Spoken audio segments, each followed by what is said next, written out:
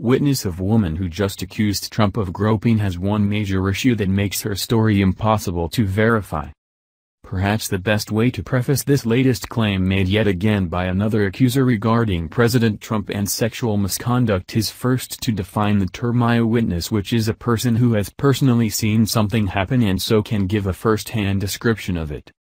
This brings us to Melinda McGillivray the newest, and perhaps dumbest, accuser to come forward against Trump, claiming that the commander-in-chief groped her in front of none other than Ray Charles. For those not familiar with the late great jazz singer, Ray Charles was completely blind at an early age, thus the reason why McGillivray is perhaps not very bright.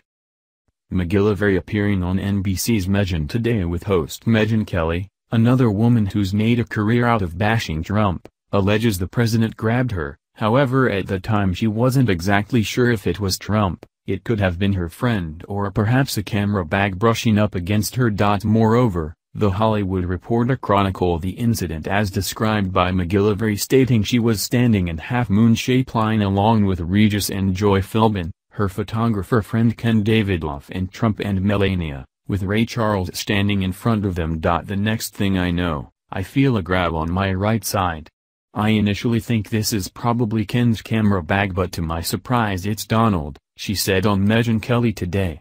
He's standing a foot and a half away from me, so he had to reach out and touch me. I look at his face and he's looking stone cold at Ray Charles. I stand there and I'm stunned. I don't even know what to do with myself in that moment. Aside from the fact there were four other people besides Trump and McGillivray who were backstage at a Ray Charles concert back in 2003, and no one witnessed the groping incident, the obvious question once again why now? McGillivray, of course, is calling for an ethics investigation into President Trump, on an incident that took place almost 15 years ago and she obviously can't prove. Moreover when it comes to ethics, perhaps McGillivray might want to forget her own sordid past which reportedly includes, a few DUIs and child neglect.